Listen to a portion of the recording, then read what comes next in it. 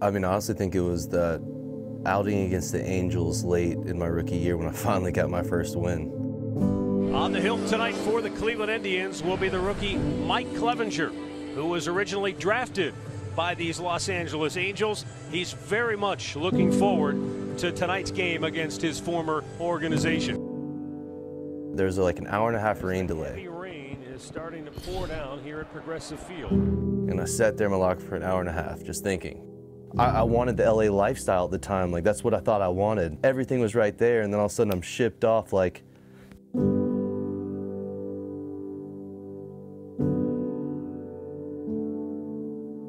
I still remember those emotions I felt as a kid.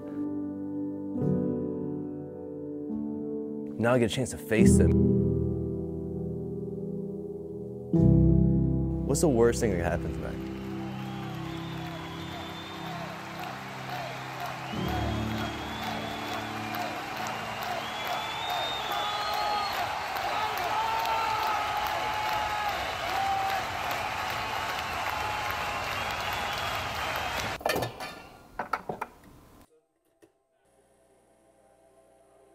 kind of like doing the same things. Like I'll, I like playing baseball. Like if it was available in the off season, I'd still do that. If it was just a free scheduled, like I show up and get know what I need to do to get ready on that fifth day, kind of thing.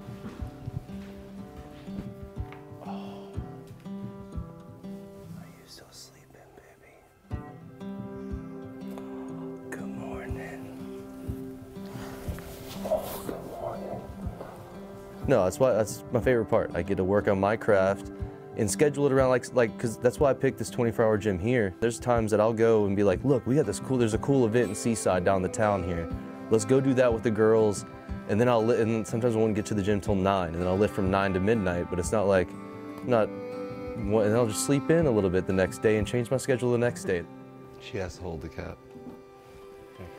And that freedom to fluctuate and just kind of live your life and live in the moment and not always be thinking about like, oh, what's tomorrow? Oh, what's what's next? Or when's my next start? Who's the next team? What city? And that that part, just that kind of controlled environment, is kind of cool to have for a little bit. Look at this.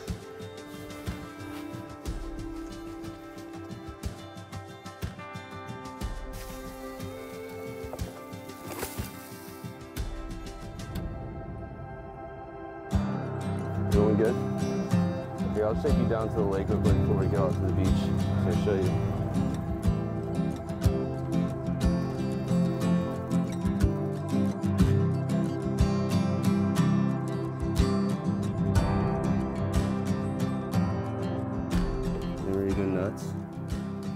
You ready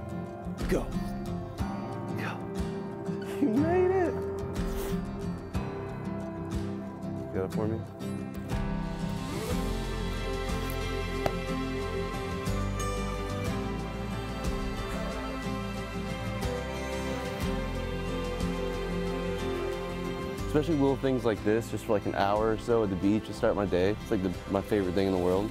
You gotta turn them into castles, babe. Yeah, a little more here. Got it.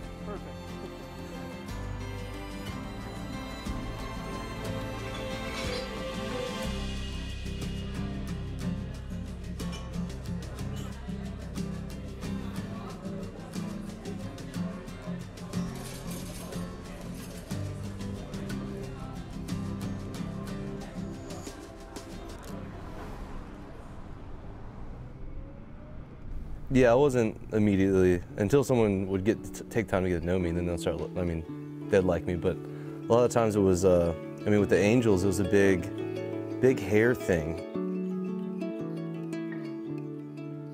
and so that was passed down. And I mean, the whole Angels staff, like they used to come to me to cut my hair and cut my hair. It was because I wasn't in the big leagues, so I have to cut my hair because I'm not worthy of long hair.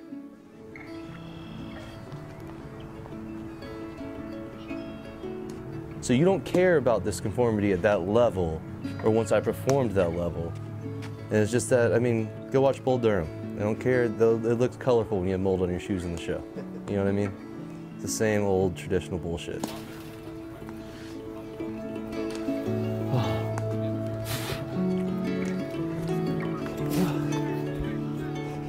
I still throw harder than you. I mean, oh my, oh my gosh. the ask, the being asked to conform. I used to want to throw hard every day in catch play. I wanted to rip through my partner every day. And I've had, I mean, it was up until I probably came over to the Indians organization that, you know, obviously loading a lot of innings and finding your right balance. But, but when I didn't have a lot of load in college and before that, and they're telling you not to throw hard and like, no, no, no, you need to save your bullets. And no, it's nonsense. If you're being an athlete and you're using your body correctly, you're doing nothing but building what you're trying to do anybody in the world might not know they're being asked to do that, but you are either doing it without knowing, but you're asked to conform on so many different levels of your life. It is unbelievable.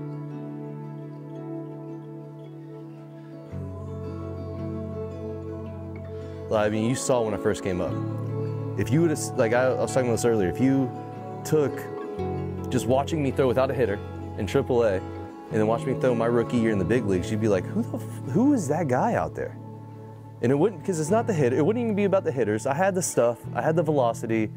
It was just that conformity that like, I don't want to step on people's toes. I don't want to look like I'm showing someone up.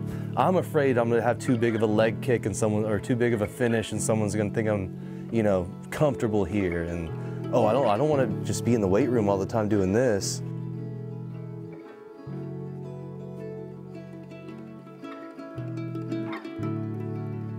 And like little things like that, and I'm not even, uh, how much am I focused on the game or my craft at that point when I'm worried about how I'm sitting in my damn locker. And that's when I finally was like, you know what, like, you can hate me, because I know if I'm me,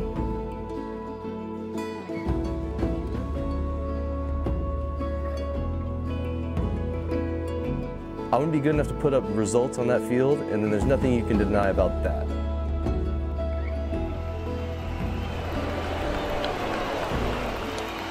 Bullseye. Strike three called, and Clevinger keeps on cruising. That's the first hit of the night for the Angels. It comes with two outs in the sixth inning. A nice hand for Mike Clevinger from the crowd as Terry Francona is going to go to the bullpen. The tying run will be at the plate for the Angels here in the sixth inning. Clevinger with his longest start of his young professional career.